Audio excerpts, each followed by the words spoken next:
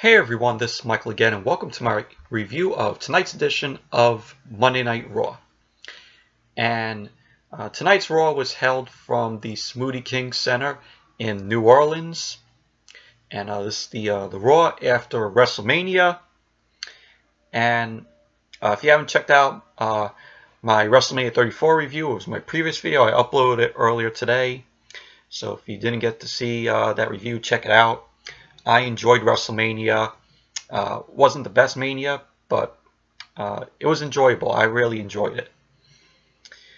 But uh, you know, wasn't wasn't you know perfect by any means though. But but uh, anyways, uh, the Raw after WrestleMania. Uh, gotta say, this show, I enjoyed it. I thought it was a I thought it was a good Raw in my opinion. just very enjoyable that you know kept you watching uh, throughout the night. You know there were there were no uh, there were no like boring matches. Well, one match that was like meh. So, but we had uh, NXT uh, call ups uh, for uh, the Raw roster, which was uh, really awesome. So, but uh, the show opened up with Stephanie McMahon coming out. You know, she her arm was in a uh, her arm was in like you know, like a cast. I, you know, I think, I think it was a cast, but it, was, it wasn't, you know, like those strap, those strap cat casts. Uh, but she ends up coming out saying that, you know, to the crowd that, you know, they have no sympathy for her after last night. And she says if she challenged Ronda, you know, at WrestleMania, she would bring out the best in her. And that is exactly what uh, she did and she brings out Ronda. Ronda ends up coming out. Uh, you know, Stephanie says to Ronda that you know she's the that she's the best one, and that she is a role model to uh, to people. And uh, Stephanie says to Ronda that you know Ronda taught her a lesson last night. And then Stephanie goes on to say, "Oh, Ronda is my new friend," and so uh, the crowd ends up booing. You know, the crowd ends up booing Stephanie uh, through the segment. So Ronda ended up uh, hugging Stephanie, uh, which uh, was a uh, which was a trick uh, because she then goes on to break Stephanie's arm again. You know, she she she ended up putting Stephanie in the armbar once again. Stephanie was screaming. then Stephanie you know, was being taken out by the officials uh, out of the ring. And then, you know, the crowd uh, starts booing as, you know, the, Stephanie's walking up the ramp. And then we get JoJo. She gets on the mic and says, Oh, ladies and gentlemen, let's have a little respect for Stephanie. And that's when the crowd started booing her, booing uh, Stephanie even more. So, but all in all, it was a uh, it was a enjoyable uh, segment. You know, it was shocking. You know, seeing Ronda end up putting uh, end up putting uh, Stephanie in the in the armbar again. You know, like what we saw from uh, last night. But uh, it was enjoyable.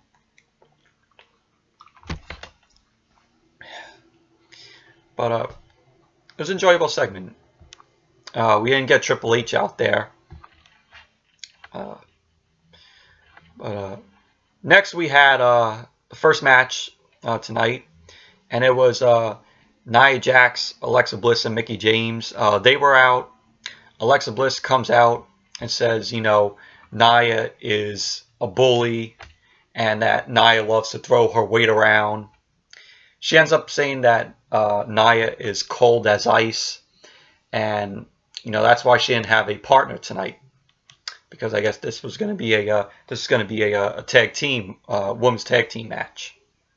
So Nia ends up telling Alexa to shut up, and you know she ends up Nia ends up telling Alexa that she enjoyed what she did uh, to her and Mickie last night, and Nia ends up saying that she does have a partner, and it is revealed that Nia's partner is Ember Moon.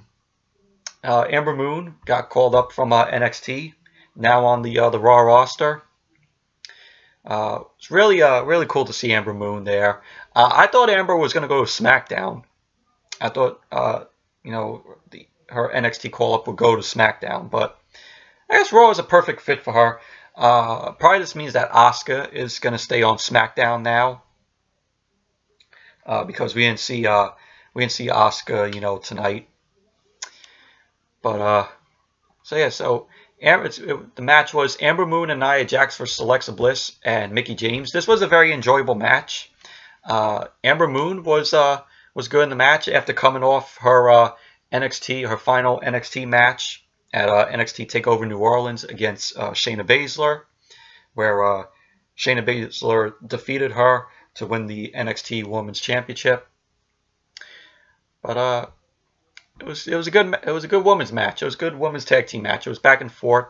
Uh, Nia uh, was uh, was awesome in the match. Uh, the crowd started chanting, you know, to Nia, uh, "You deserve it," you know, with the uh, with her being the new Raw Women's Champion.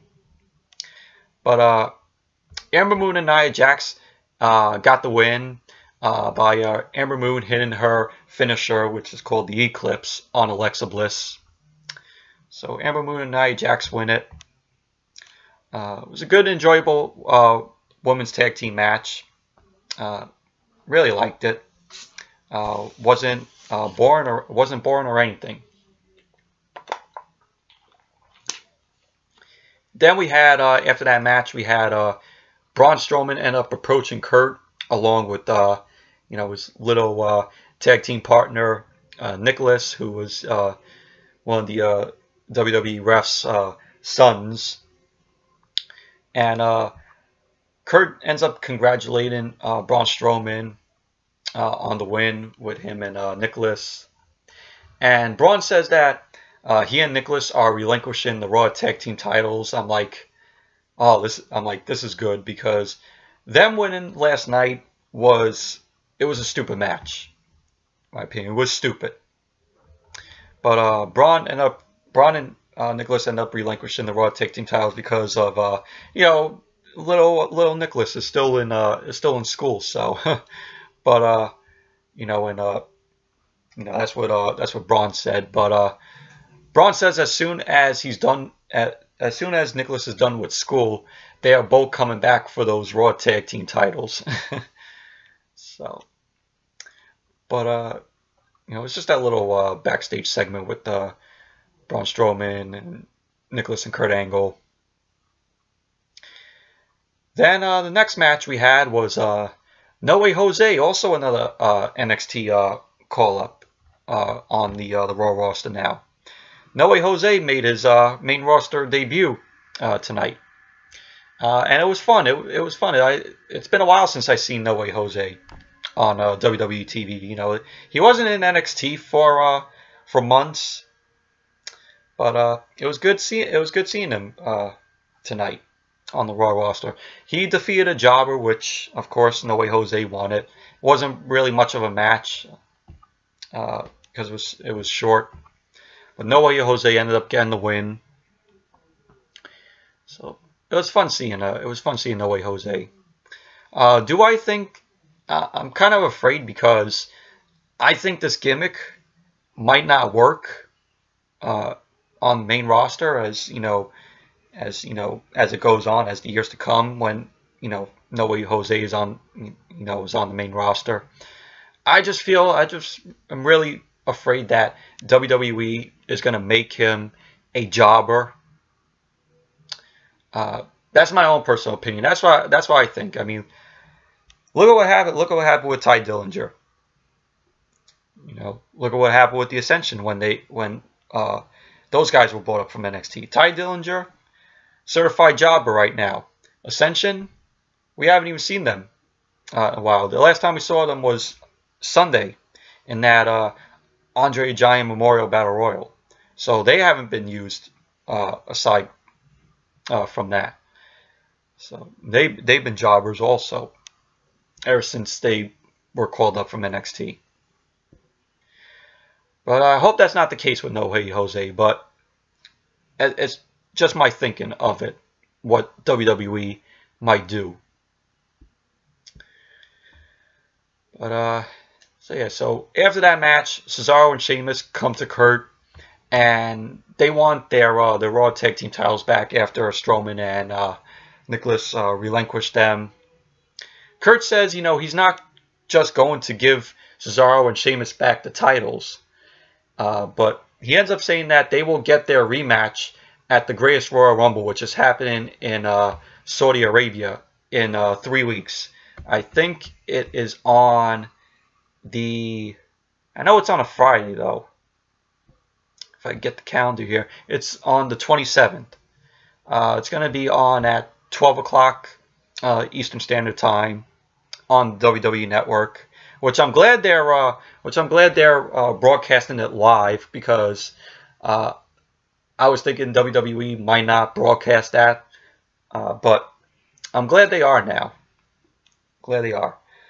So, so April 27th, the Friday, same day Avengers uh, Infinity War uh, comes out. So that's pretty cool. Both the Greatest Royal Rumble and Avengers Infinity War on the same day. But, uh, so yeah, so back to what I was saying. Uh, Cesaro and Sheamus will get their rematch at the Greatest Royal Rumble in Saudi Arabia against, you know, these three other teams that are competing. Uh, and Kurt calls it uh, Tag Team uh, Eliminator. Uh, so, but it was just that, it was just a uh, little backstage segment with Cesaro and Sheamus and Kurt. Then when Raw came back from commercial, uh, the first match in this uh, tag team eliminator eliminator uh, came to uh, came to be. It was the Revival versus Gallows and Anderson. Uh, this was an enjoyable match, very good match, back and forth between you know these guys. This is not the this was not the first time that the Revival took on Gallows and Anderson, but you know, I was picking uh, who was going to win this match, either Revival or Gallows and Anderson. And I like all I like both of these tag teams. I mean, Gallows and Anderson, you know, former uh, Raw Tag Team champions. Really would like to see them uh, win the tag team uh, championships again. But uh, the revival look like uh, looks like they might have their chance uh, to be Raw Tag Team champions. I would like to see it. I think it would. I think it would be good uh, if they became it because they deserve it. If they became the uh, the Raw Tag Team champions because they deserve it. But uh, they ended up winning the match, uh, the Revival. Uh, they hit the uh, the Shatter Machine on Karl Anderson. So, all in all, it was a good match. It was an enjoyable it was an enjoyable match. And I really do hope the Revival wins this and faces uh, Cesaro and Sheamus uh, at the Greatest Royal Rumble in Saudi Arabia. Then we had, uh, after that match, we had Seth Rollins coming out, uh, kind of promo saying, you know, after last night, you know, he is back. He is Seth freaking Rollins. And, you know, he says that, you know, all three guys that were on the Shield are Grand Slam champions. And, uh, and that was and that's pretty cool. I mean, Seth Rollins is now a uh, a Grand Slam champion after uh, last night. So Finn Balor ends up coming out. Congrats, uh, Seth Rollins on the win. Uh, he says he wants to step up and challenge Seth for the title, uh, for the Intercontinental title. The Miz ends up coming out and says, "Oh, Seth does not deserve that title, and that he still deserves it." because he made it because he made the Intercontinental title prestigious, and uh, he says two weeks ago he became a father, and you know the crowd starts uh, clapping for him, saying you know he's got he's got kids, he's got kids, and uh, Miz says you know Seth thinks Seth says you know he want why not have a rematch right here against the Miz tonight and because uh, Miz still has his uh, rematch clause uh, for uh, Seth Rollins for the Intercontinental title. So Miz says he will revoke his rematch clause at Backlash. So at Backlash, it's going to be Seth Rollins versus The Miz for the Intercontinental title.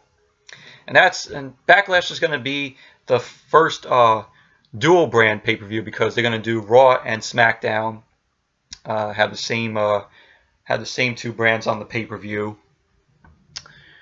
So, and then uh, surprise, uh, Jeff Hardy ended up returning, and it looked like uh, we were going to get a match uh, with the Miz and the Miztourage because you had uh, you had Jeff Hardy, uh, Seth Rollins, and Finn Balor there. But uh, the Miz and the Miztourage ended up leaving the ring. But uh, don't be surprised because that's the main event uh, for Raw tonight against them. Then we had uh, Mandy Rose versus Sasha Banks. Uh, match was uh, decent. You had Bayley uh, ended up coming out, was out there. Mandy Rose uh, got the win. So Mandy Rose uh, wins the match. And then uh, we had uh, Paige in the ring, and we had uh, Paige's retirement speech because she said she wanted to retire in New Orleans. So it was a good, it was a good speech from Paige. Uh, really, uh, really enjoyed it. Very, very emotional speech. Absolutely, absolutely, uh, really good speech from Paige. Uh, didn't even know that you know Paige was gonna have her uh, retirement speech uh, tonight. So, and even the even the crowd was saying, you know, this is your house. You know, me and the ring is her house and you know I gotta say thank you Paige uh, she she was very entertaining she's one she was one of my favorite uh, women's uh, superstars. Uh, so yeah so that was uh, her uh, retirement speech. It was it was a good speech. Then we had Elias. He was out he was out there, you know, you, the whole shit tick he's do, he does, insulting the crowd. Bobby Lashley uh, ret returns to WWE, uh, which was which it was announced uh, a couple of months back that Lashley was returning to WWE, and I'm glad he's back. I've been waiting for Lashley to come back to WWE for a long time, and uh, he hasn't been in WWE I think since 2009. I may be wrong on that. But I remember, uh, but I remember uh, last time we saw Bobby Lashley was in that uh, was in uh, WWE's uh, version of ECW. Uh, because uh, I remember he was the uh, the ECW champion uh, at that time in like 2007. But uh, yeah, yeah, he left WWE in uh, yeah, I was I was wrong. He didn't he didn't he didn't leave WWE in 2009. He actually was released in 2008, of February of 2008. So just had to look that up though. But yeah, it's been it's been wow, it's been 10 years since he was last in WWE. It's crazy. But uh, Bobby Lashley ends up coming out and he takes out Elias, hits a neck hits a neck breaker on Elias and then uh, he also lays him out with the, uh, with another one of, with another move. I forgot the name of the move though, but he ended up laying out Elias there, and that pretty much ended the other segment. But uh, it was really shocking. It was really shocking to see uh, Bobby Lashley, uh, you know, come back. You know, like I said, I've been waiting a while for him to come back to WWE. You know, he finally he finally comes back home. yeah, it was, it was really cool. Then after that, uh, we saw Kevin Owens and Sami Zayn. They uh, came to Raw. They visited Kurt. They visited Kurt Angle, and you know, basically they want both of them wanted a job on Raw. You know, since they can't, you know, go back to SmackDown since they lost to Daniel Bryan and Shane uh, and Shane McMahon last night. So Kurt ends up saying, you know, that you know they're both looking for a job and that he tells them that the tag team is full already. And he, what was really funny was uh, Kurt ended up uh, taking a shot at TNA, which which was really funny, which was very very funny. And uh, Kurt says they have a spot uh, tonight for one of them. Then Kurt ends up saying either take it or leave it. And so that pretty much leads to Kevin Owens versus Sami Zayn tonight. Only one of them could be on Raw. So then we had uh, Heath Slater and Rhyno. Uh, they were out. And Heath Slater says, you know, if there's anybody in the back to come on down and face the both of them, you know, come down and face them. Then uh, another NXT uh, call up, the Authors of Pain, uh, which I knew that they were going to debut uh, tonight. Uh, they had uh, Paul Ellering there, and Authors of Pain. These this tag team, they were the they were dominant in NXT. They were former NXT Tag Team Champions. Uh, one of one of my favorite uh, tag teams. They're just really uh, they're just really good. They're a really good tag team. So it was Authors of Pain versus Heath Slater and Rhyno. Uh, good match for uh, Authors of Pain. They just uh, dominated the hell out of the match and took out uh, Heath Slater and Rhyno. Of Pain got the win with the uh, with the last chapter, which is their finisher on uh, Heath Slater uh, to score the win. So, uh, Authors of Pain win the match. And it, what, what it looked like, I think maybe they fired uh, Paul Ellering because my friend said uh, that. Because uh, I didn't, I didn't spot it though. But, you know, all in all, it was a uh, it was a decent match for Authors of Pain. Uh, I have to say, you know, since they made their uh, their Raw debut tonight, uh, next week, uh, forgot to mention, next week is the uh, the Superstar Shakeup. They're doing another draft, which I was right because I called it. I said after WrestleMania, there's going to be there's possibly going to be a draft or Superstar Superstar Shakeup, and I was right. So, but yeah, if Authors of Pain stay on Raw, without doubt, I would like to see them face the Revival uh, in the future for the Raw Tag Team uh, for the Raw Tag Team Championships. If the Revival uh, wins the uh, the Raw Tag Team Championships at the Greatest Royal Rumble, that is one that is one uh, match I would like to see. So after that match, uh, Roman Reigns ends up coming out you know, he said to a crowd to a crowd full of boos. Uh, they were booing him, and he comes out and says he got his ass kicked last night. With what? No, but no, duh. You know, he did get his ass kicked last night by Lesnar. But he goes, "I'm here tonight," and Brock Lesnar isn't. He ends up saying Vince couldn't look him in the eye and smarting him up, you know, last night. And he says Lesnar is one hell of a businessman. And uh, he says Lesnar did sign. Lesnar, he says Lesnar signed with WWE again. Yes, uh, Brock Lesnar did re-sign with WWE, and Ro Roman ends up saying they ended up putting him in a steel cage, in a steel cage match. I think that's going to be happening at the Greatest Royal Rumble. Uh, he says he will face Lesnar until he gets the Universal title. So Roman Reigns still wants that that Universal uh, Championship. And uh, Samoa Joe makes his return, uh, which uh, is really awesome. You know, we haven't seen Joe since uh, September. And Joe ends up returning and he says, you know, Roman thinks, you know, there's a conspiracy and that last night Lesnar exposed him. Lesnar exposed Roman. And he failed to make you know, and he failed. You know, Roman ended up failing. And, you know, Joe says, oh, every time Lesnar takes on Roman, Roman always gets jacked up. So, it was a pretty, uh, it was a pretty uh, cool uh, segment. You know, Samoa Joe uh, returns. Glad that he's back. Then uh, after that uh, segment, we had uh, Bray Wyatt and Matt Hardy versus Titus Worldwide.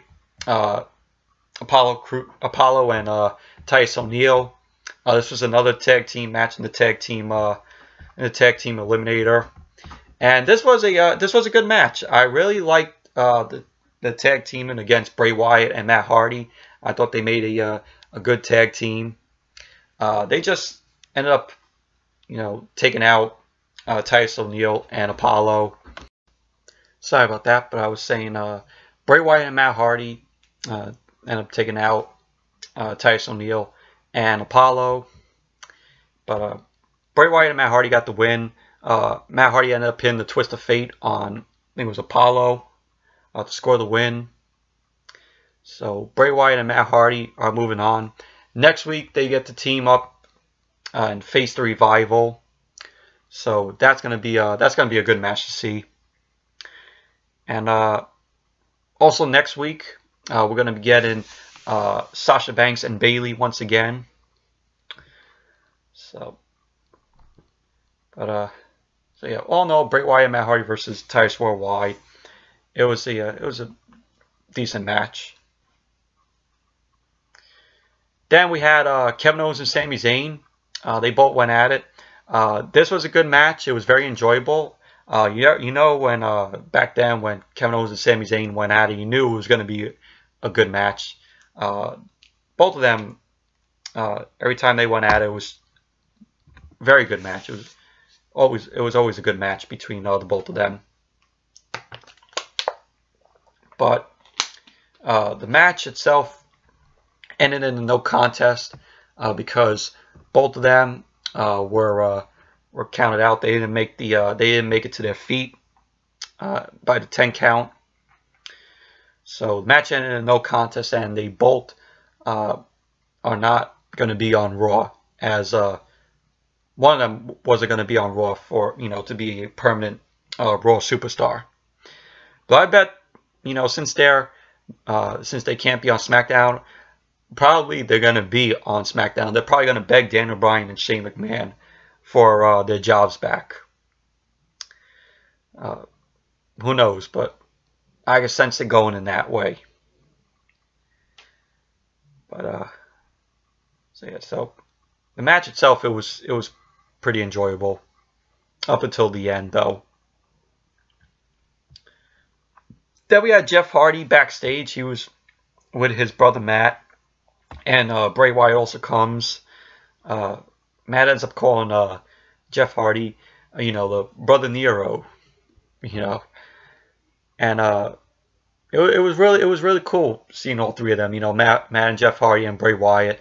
Uh, they should make a uh, they should make a staple uh, with all three of them, and call it the uh, the Woken uh, family. Just you know, like how you had the Wyatt family, just call it the uh, the Woken family or you know some something else, something that would be you know a much better name. Which I hope WWE, uh, I hope WWE puts uh, those three guys together and form like a staple, because that that would be uh, that would be pretty cool. And you know Matt Hardy says, "Oh, it's wonderful," you know that you know that Jeff Hardy's there. And then we see Finn Balor and Seth Rollins there and they were like, "What was that?" it was funny though. It was a cool little, it was a cool backstage segment with them. Then we get to the main event, uh, which was Finn Balor, Jeff Hardy, and Seth Rollins versus The Miz and The Miztourage. Uh, this was a uh, this was a decent main event. Uh, I thought it was very enjoyable. Uh, Balor, uh, Hardy, and Seth Rollins were awesome in the match. Uh, it was back and forth between them, between uh, them and uh, Miz and Miztourage. Uh, basically, uh, the match started and they, they were just taking out Curtis Axel and Bo Dallas. But uh, Finn Balor, Jeff Hardy, and Seth Rollins got the win. Seth ended up hitting the the stomp on Miz to score the win. Then you had after the match, uh, they all three of them just take out uh, just take out uh, Bo Dallas, and uh, you know they end up hitting the uh, Finn hits, I think, the coup de grace. Jeff hits the uh, the twist of fate and the swanton bomb. And then Seth Rollins hits the stomp. Curtis also, uh, Curtis Axel also then gets it from all three guys. Uh, they all lay out Curtis Axel with the same, uh, the same thing. Uh, Jeff Hardy ends up hitting the swanton on Curtis. Uh, Seth Rollins ends up hitting the uh, the stomp on uh, Curtis Axel. And that pretty much uh, ended uh, Raw tonight. So it was it was a decent main event. It was it was enjoyable. Uh, nothing I nothing I could complain about about uh, tonight's Raw, except for maybe like uh, except for maybe like No Way Jose versus the Jobber, which uh, that that was really nothing. That was meh, though. But uh, so yeah. So anyways, that's it for my review of tonight's edition of Monday Night Raw, uh, the Raw after WrestleMania, and uh, like I said next week there's going to be a, uh, a superstar shakeup, uh, which I think it deserved. It really deserved it. It really deserves it. You know, just shaking up the whole uh, the whole uh, roster. Uh, hope they uh, hope they choose uh, good ones for you know to go to uh, Raw and you know superstars from SmackDown they go to Raw and the Raw superstars they go to SmackDown. I hope they choose uh, wisely. I hope they have some uh, some good picks of superstars to go to uh, both of the brands and also NXT uh, call ups though. Uh, I hope there's more NXT call ups uh, during the the superstar shakeup. Uh, I know I want to I want to see. Uh, there's rumors about it saying that uh, Peyton Royce and Billie Kay are being bought up. I would love, I would love if they were to be on SmackDown, uh, because SmackDown SmackDown needs uh, more uh, more women on for their women's division. Uh, Raw has you know a lot of women on their on their division, but I, I'm a fan of uh, I'm a fan of both Peyton Royce and Billie Kay. I really would like to see them on SmackDown uh, because you know they were at pay-per-views they were talk- they were with Daniel Bryan and you know just pestering pestering him. Uh, it was funny though. I remember. But yeah, I hope they go to SmackDown. So yeah. So anyways, that's it for this review of uh, the Raw after WrestleMania. Uh, thank you all for watching. And be sure to give this video a thumbs up, comment, subscribe, and to stay tuned tomorrow night for my SmackDown review. And of course, it's going to be the SmackDown after WrestleMania. Hope you know they they could top you know Raw. You know, be as good as Raw tonight. So until uh, that video tomorrow, I'll see you all here tomorrow with that review.